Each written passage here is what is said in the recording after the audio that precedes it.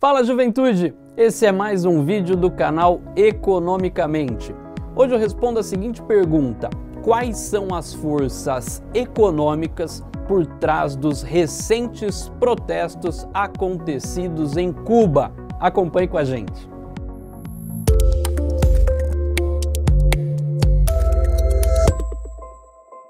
Recentemente, nós observamos uma eclosão de protestos na ilha comunista, isso mesmo em Cuba.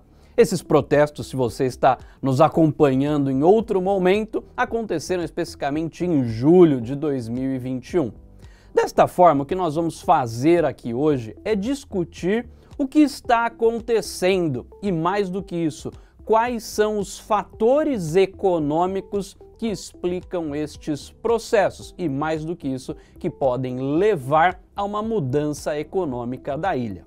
Cuba não via tantas manifestações de protestos há décadas. No entanto, no dia 11 de julho, especificamente mais de 50 cidades da ilha, ou seja, de Cuba, registraram manifestações. Essas manifestações têm diversas origens, sendo certamente a primeira a forma como o governo vem lidando com a pandemia, mas mais do que uma questão de saúde sanitária, está ao lado econômico. A ilha vem enfrentando uma escassez de alimentos, de remédios e cortes recorrentes de eletricidade. E é justamente sobre o pilar econômico que nós vamos discutir. Inicialmente, para que a gente possa entender a situação em Cuba, nós precisamos nos debruçar sobre o sistema econômico que a ilha adotou com Fidel Castro. Estamos falando de um sistema socialista, de uma economia planejada, ou como nós chamamos, uma economia planificada. Para você ter uma ideia, após a Segunda Guerra Mundial, por três décadas, cerca de um terço da população mundial viveu sobre este tipo de regime econômico, ou seja, uma economia planificada. Hoje, ou seja, atualmente, temos apenas Cuba e Coreia do Norte vivendo sobre este regime. Peraí, Haroldo, mas afinal o que significa falar uma economia planificada, uma economia planejada? Significa dizer o seguinte: é uma economia planejada pelo Estado. Ou seja, o Estado é quem determina todas as questões relacionadas aos fatores de produção, exceto o trabalho. Afinal, não é uma economia escravocrata. Porém, é o Estado quem determina a alocação de recursos e faz este planejamento diferentemente de uma economia capitalista, onde esta determinação é feita justamente pela interação das forças de mercado, pela interação de oferta e demanda. Portanto, para entender o contexto das manifestações em Cuba, este é o começo da história.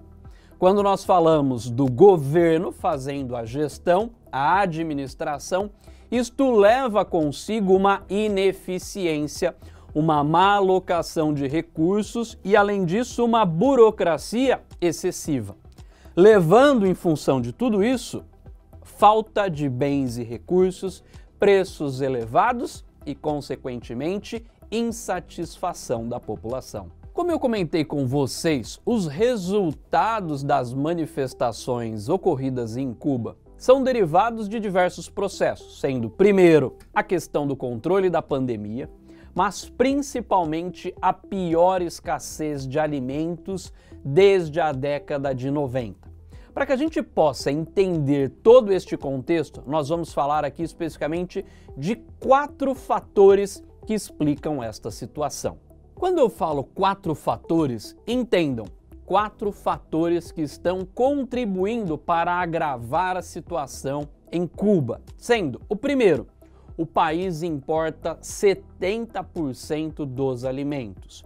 Segundo ponto, o país está tendo uma escassez de dólares, ou seja, falta de divisas. Terceiro ponto, com a pandemia, nós estamos tendo um aumento dos preços das commodities. E quarto, vem as sanções relacionadas ao embargo comercial imposto pelos Estados Unidos. É claro que quando eu falo destes quatro fatores, adivinhe onde que o governo se defende, justamente no quarto fator.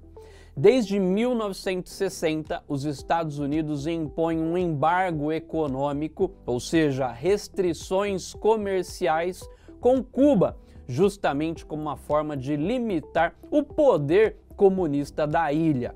E aliás, sob o governo de Donald Trump, essas sanções acabaram sendo endurecidas. Mas é importante entendermos que este é um pilar muito mais ideológico do que responsável pela causa, pela gênese dos protestos que nós vamos discutir. Ah, Haroldo, então você está dizendo que o resultado não é culpa das sanções impostas pelo embargo americano contra Cuba? Olha só, o que eu quero dizer é o seguinte: não é o único responsável. Afinal, os Estados Unidos são os maiores exportadores de alimentos para Cuba. E além disso, o embargo acaba isentando alimentos. Embora, quando nós olhamos para 2020, foi o ano com o menor nível de importação de alimentos pela ilha comunista. E mais do que isso, é importante lembrar o seguinte: quando eu olho para este cenário todo, nós tivemos ainda um impacto que eu comentei como terceiro fator. Nós tivemos um aumento do preço das commodities no mercado mundial. Em função disso, eu tive encarecimento dos produtos que eram importados. Agora, vamos juntar o primeiro com o segundo fator que inicialmente eu comentei com vocês.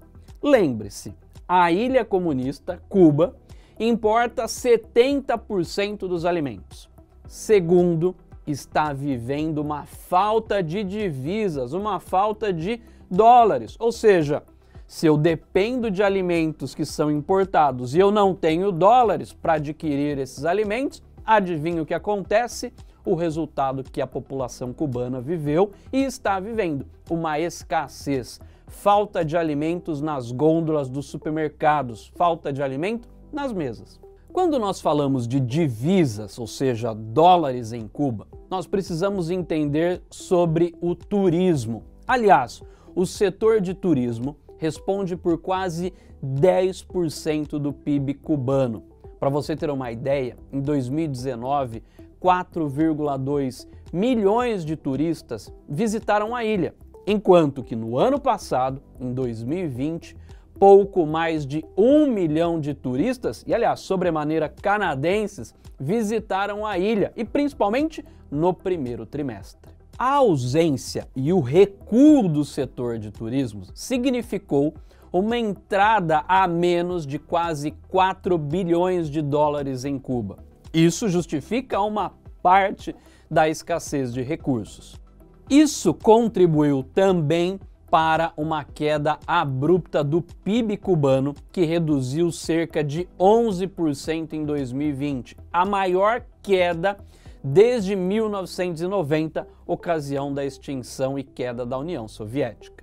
Veja o seguinte: comentamos inicialmente que uma parcela desta falta de reservas advém da queda do turismo, em função, é claro, da pandemia de Covid-19. O segundo diz respeito a remessas de dinheiro. O que estou querendo dizer? Geralmente nós tínhamos aí uma operação de cerca de 10 voos diários entre Miami e Havana, em Cuba. Literalmente eram voos com mulas de dinheiro vivo, ou seja, pessoas que levavam dinheiro para seus parentes, amigos e familiares.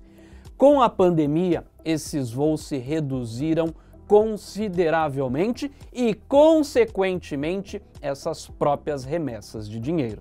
E por fim, para fechar este cenário de catástrofe e falta de dólares, o açúcar, que representa um dos principais produtos exportados pela ilha cubana, sofreu uma das maiores quedas de exportação. Afinal, Cuba enfrentou uma seca severa. Então, olhe, reduzir turista que me trazia dólares, reduzia as remessas, as famosas mulas de dinheiro vivo, e por fim, as minhas exportações, principalmente de açúcar, caíram consideravelmente. Isto levou a um cenário de enfraquecimento da moeda cubana, um cenário de falta de liquidez e escassez de dólares.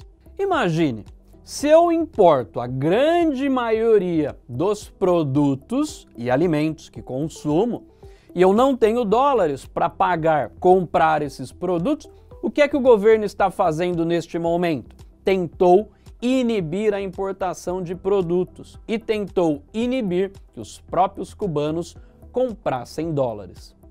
Olha um cenário que para nós é inimaginável. O governo está restringindo a importação de trigo. Consequentemente, as padarias estão utilizando farinha de mandioca ou outras fontes, especificamente para a produção do pãozinho. E aliás, o governo tem inclusive limitado a venda de biscoitos à população, como uma forma, mais uma vez, de evitar a importação de trigo. Do ponto de vista econômico, se eu limito a importação, o que é que o governo deveria fazer? Estimular a produção no mercado doméstico. No entanto, o governo cubano é terrivelmente ruim neste segundo aspecto. As empresas produtoras de alimentos em Cuba acabam recebendo a sua comercialização em peso cubano, que tem pouco valor comercial. Porém, precisam comprar os seus insumos importados em dólares. Além disso, quando vão vender os seus produtos, vendem a preços determinados pelo governo e que são pouco competitivos.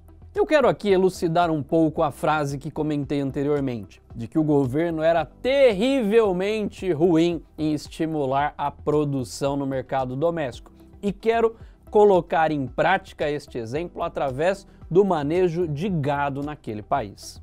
Só para você ter uma ideia, até o mês de junho era impossível, ou seja, era proibido abater uma vaca até que ela atingisse uma determinada idade. Aliás, uma idade extremamente avançada, conforme determinação do governo. A partir de agora, os pecuaristas podem abater este animal, seja para comercializar ou até mesmo para consumo próprio. No entanto, precisam comprovar que esta vaca produz pelo menos 520 litros de leite por ano. Uma outra característica que os pecuaristas enfrentam em Cuba é que eles só podem abater uma vaca se aumentarem o seu rebanho, ou seja, só podem abater uma vaca para cada três bezerros que adicionam, o que é uma tarefa difícil no longo prazo e matematicamente difícil também de ser cumprida. Do jeito que a vaca anda, certamente Cuba terá dificuldades em manter o seu rebanho bovino. Só para termos uma ideia, mais de 7 mil vacas morreram de desidratação na província de Las Tunas no ano passado. Prova do excesso de burocracia que você tem naquele país, seja até mesmo para abater um animal.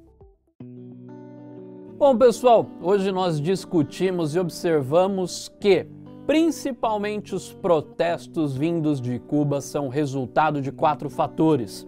Um país que depende da importação de alimentos, um país que está carecendo de divisas, um aumento dos preços dos alimentos e das commodities no mercado internacional e as sanções impostas pelo governo americano.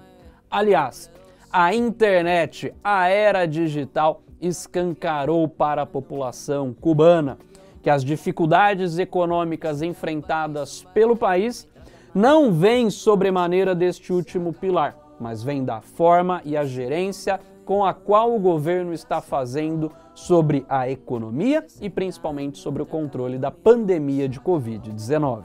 Aliás, os cubanos mais jovens e digitalmente conectados estão cada vez mais impacientes com o regime socialista e comunista que impera na ilha. Portanto, dada esta impaciência, certamente nós teremos mudanças que são necessárias, sejam reformas ou uma eventual abertura da economia cubana. É isso, pessoal. Valeu!